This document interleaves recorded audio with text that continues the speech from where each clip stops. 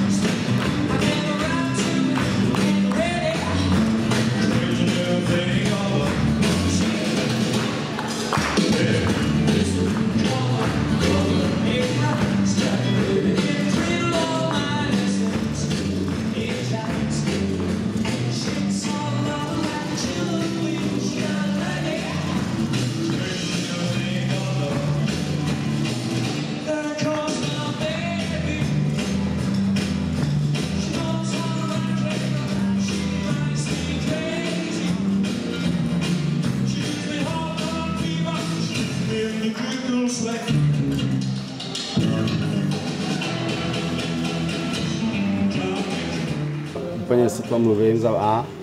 Za B hrozně si vážím výkonu Honzy Hačeříka. To je absolutně netrénuje, je to člověk, který dělá svůj biznis a chtěl bych strašně vyzvednout jeho výkon, protože by fair hrál zápasy s reprezentantama. Natolik vyrovnaný, že měl na ně, aby je porazil. Úplně klobouk dolů, za A. Za B, já to tak prožívám, že musím chodit na chodbu, protože já mám takový takový pověrčivý, že když jsem na chodbě, tak vyhrál, což se opět vyplatilo, ať se to týká Pavla i čtyři. A za C já hrozně chci poděkovat klukům, v podstatě my jsme ve dvou porazili. První zápas semifinále série za náma už pěstním koncem, tak jak jsi to viděl?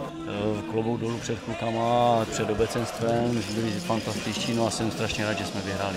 Co dneska myslíš, že rozhodlo? Dneska rozhodlo, že Pavel Širuček udělal dva body, no a že, se dohra, že ta čtyřa se vyhrála, což čtyřa bude vždycky asi, ta bude rozhodovat a je strašně důležitá a jsme rádi, že jsme ji to zvládli. Takže Pavle, ty jsi splnil vlastně splnil svou povinnost, udělal si dva body, tak jak jsi ten, ty své zápasy viděl? Tak povinnost, eh, sice dvakrát jsem po sobě s nimi dva body dělal, ale, ale je to vyrovnané, dneska jsem, dneska jsem klidně mohl dělat, mohl jsem dělat nulu, sice s Tomášem to bylo 3-0, ale ten první a ten třetí set byl vyrovnaný, vyhrál jsem v koncovce. No a s Michalem Obešlem hrozné štěstí. Myslím si, že i v té čtyři jsem měl štěstí, trošku nám to tam pomohlo v tom pátém setu a musím říct, že tak dlouhé utkání, 5 až 4 hodiny jsem ještě nikdy nehrál. Takže jako určitě spokojenost, ale zítra, zítra musíme potvrdit dnešní to vítězství, takže musíme zítra vyhrát, a, nebo musíme, chtěli bychom. Když se tam na čtyřhru s Josefem už jste někdy hráli? Čtyřhru spolu nějaký zápas, nebo to byla premiéra? Uh, s Pepou Šimončíkem jsem ještě nikdy nehrál čtyřhru, takže to byla premiéra. A, ale trénovali jsme to na tréninku a možná se to vyplatilo i.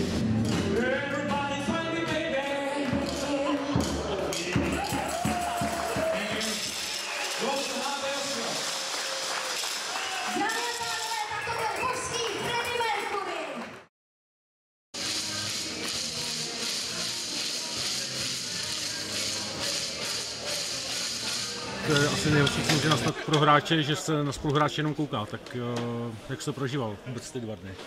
No, celkově to je, to je těžší, jo, z té lavičky, eh, když to člověk vidí a vlastně nemůže pomoct jenom tím, že poradí nebo zkusí naladit toho hráče optimálně nebo co nejoptimálněji na to, aby mohl podat co nejlepší výkon. Tak je, je to, jsou to úplně jakoby dva rozdílné páry bod. Jo. No. Co podle tebe dneska rozhodlo? Nebo co tomu chybělo, aby to bylo úspěšně jako včera? No, hodně klíčový zápas byl Pavla Širučka s, s Tomášem Treglerem. Eh, hlavně po tom, jak se prostě vyvíjel. Jo. Vedl 1-0, 7-2, víceméně ten, to utkání měl pod kontrolou a eh, bohužel ztratil ten set a vlastně ne, že by Tomáš Tregler se nějak vrátil do zápasu svojí hrou nebo že by něco změnil, ale, ale Pavel se tam prostě zbytečně vyházel a tohle to se, z toho se musí vyvarovat jakoby do budoucna a pokud tady na tomhle zapracuje, tak zase, zase se zlepší, zase s něho bude silnější hráč. No. Ale bohužel se to prostě stalo a, a, a ten bod dneska jeho nám chyběl. i když zase na druhou stranu musím říct, že není to jednoduché pořád prostě vyhrávat, někdy se to stane, že člověk prohraje a oni to mezi sebou mají tak, že že když, eh, když budou hrát pět zápasů, tak, tak ten Pavel 4 vyhraje, ale jednou ho ten Tregi najde prostě. No a dneska, dneska to byl ten případ, tady je vidět, jak ten stolní tenis je nevyspytatelný, protože ten Tomáš Tregler včera prohrál obě dvě svá utkání a dneska, dneska byl lídr toho týmu, dneska vyhrál, takže každý den, když se bude hrát, tak, tak eh, ta utkání můžou dopadnout úplně jinak. Je to strašně vyrovnané a, a v konečném efektu se musí všechno odehrát na tom stole. Co čekat od těch dvou zápasů v Praze vůbec? Bude to něco jiného, než třeba kdybyste hráli tady doma? Uh, oni budou mít samozřejmě budou mít domácí prostředí a, a ví se, že ta jejich herna je teda nebudu se ani omlouvat, ale prostě řeknu to na, na plnou hubu, jak se říká, jo, lidově, prostě katastrofa. No, to je antipropagace stromního tenisu. Je to ostuda, že tak dobré manšaft, jako je El Niño, několikanásobný mistr České republiky, takové herně hraje. Mm-hmm protože já si myslím, že to je nedůstojné a samozřejmě na jednu stranu je to pro ně ohromná výhoda, protože to je domácí prostředí, ale se na mě nezlobí, jako i, i pro samotné diváky, když tam přijdou, tak prostě není, není to žádný met, takže se tam vůbec jako do toho prostředí netěším, ale bohužel je to holý fakt, my tam musíme ty utkání odehrát. V regulární sezóně jsme dokázali tam vyhrát, tak já, já, já doufám, že se nám podaří minimálně jedno, jedno, jedno utkání vyhrát a pokud by to mělo být 2-2, tak tak zase se budeme těšit tady na rozhodující utkání.